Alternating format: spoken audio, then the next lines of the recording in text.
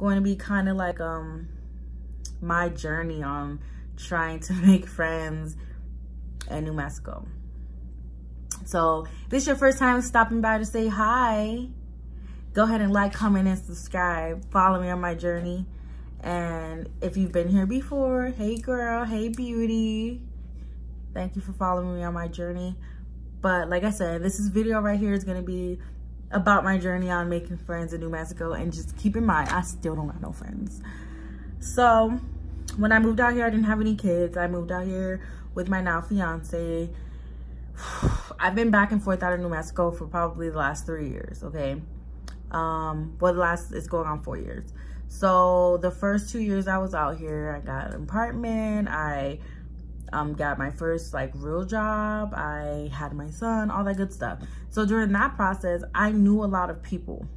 I knew people from my job, and then I made some like associates through my job, and I made friends with like their friends and stuff like that. So I knew a lot of people, but I still didn't feel like anybody was like a friend to me. You know what I mean? Like I didn't have anyone around me that was like, oh my God, let me throw your baby shower or let me buy your kids gifts or anything like that. I didn't have that.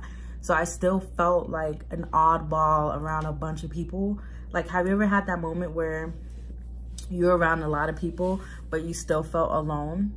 That was me.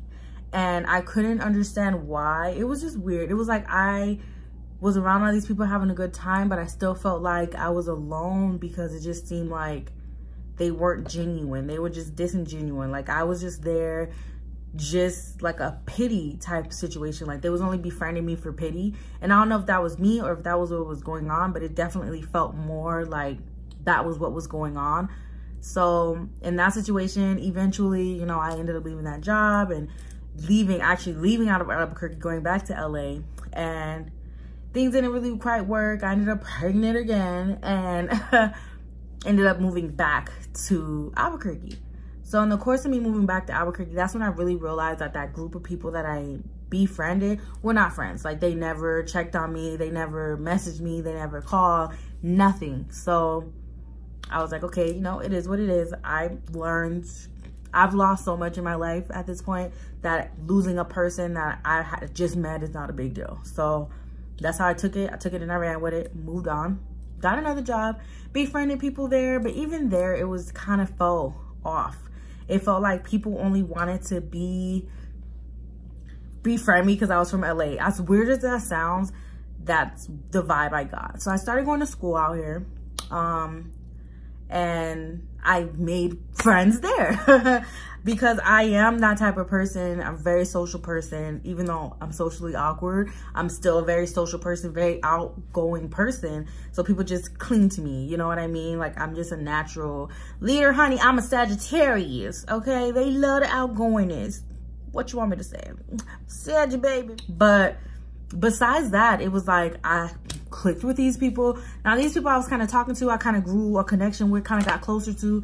But even then, even when I stopped going to school, same thing. It was just like a group of people and then I just felt like it was just not real. Like they were just hanging out with me just to do it, just so they looked a certain way that makes any sense. Keep in mind, I'm in New Mexico, okay? There's not too many of us melanated beauties out here. So it's kind of like, I just felt like they just wanted my, my juice in the group just to have it, but didn't really mess with me. Like that's, that's what I got out here. You know, that's what I've been getting until it changes. This is my aspect of what's going on, okay? So even now to this day, that group of friends, I don't talk to them. Like I have them on all my social media and stuff. They don't hit me up. They don't check on me. Nothing. Nothing. You know, like um when my dad got sick recently, that's when I really realized I don't have any friends.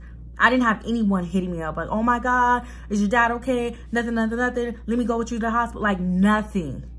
And there was a couple of people I was really expecting that vibe from that I didn't get and it was really, really, really disappointing. And to this point, like, I will not talk to you.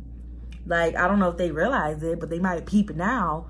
I will not talk to you because at a time where I felt like the people that I expected to reach out to me to make sure I was good or even to attempt to make sure I was good did it, that's when I knew, nah, these people I'm trying to hold on to are not worth me holding on to. And when stuff goes wrong with them, they call me. But when things go wrong with me, you can't check on me. You know what I mean? And I made it a point to kind of post it on Facebook and stuff, you know, what's going on with my dad and that I had to like immediately get out there to see him and stuff like that. I didn't have anybody reach out to me. Like anyone. Like nobody. And that's when I realized, hold on, y'all. That's really kind of when I realized, like, oh, wow, you really don't have any friends, sis. Like, you really don't, you know. Not only did I realize it when I was trying to plan my wedding, but I realized it even more because I feel like when you your parents get sick and you get sick and things like that happen, those people that reach out to you to make sure you're good, those are your friends, you know. Mine is family. Those are your kins. Those are your friends. Those are people that care, that genuinely care about you. If somebody can't reach out to you and make sure you're good or your parents are good or your kids are good and stuff like that, or if somebody doesn't hit you up to check on you or check on the fact that you have kids, you know what I mean? Even if they're in a different level in life or they haven't got there yet or whatever it may be, I mean, you still be like, hey, how are you? How are the kids every month? you know, at least. I don't get that from anyone. So I probably get it from one person. And I mean, I talk to her all the time. So that doesn't count. But other people that I really expected from, other people I've known for years that I expected from, I have not gotten. In 2019, I told myself, phones work two ways. But if I'm the one always reaching out and you never do, then you're the problem. Let me repeat that because I thought that was good. Phones work two ways. But when I'm the only person reaching out and you never do, you're the problem. You're the problem. I always felt like it was me, but I'm the one that's always reaching out. So if I never reach out and I never hear from you, that just lets me know.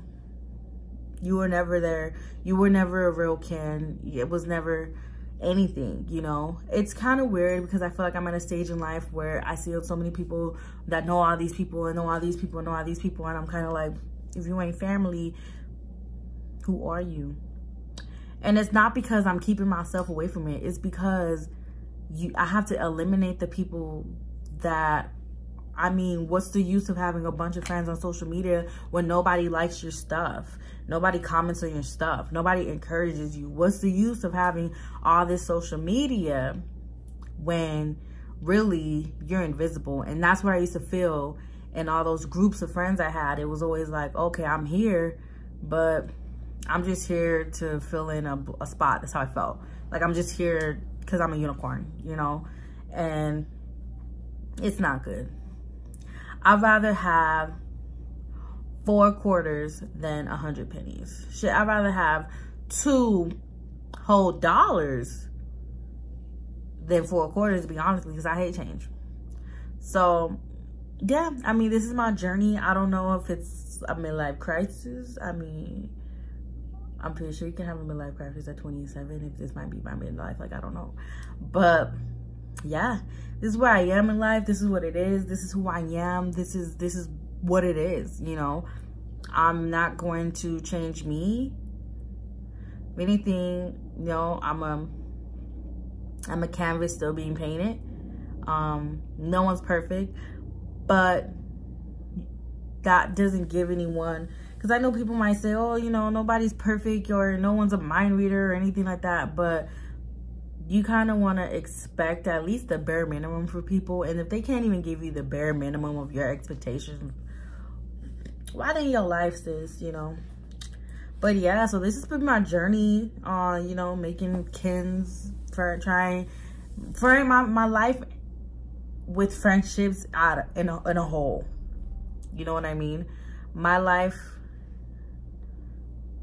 with trying to build friendships in a whole, it just never has worked.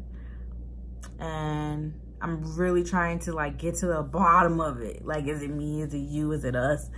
But I mean, I need to accept the fact that maybe it's not for me.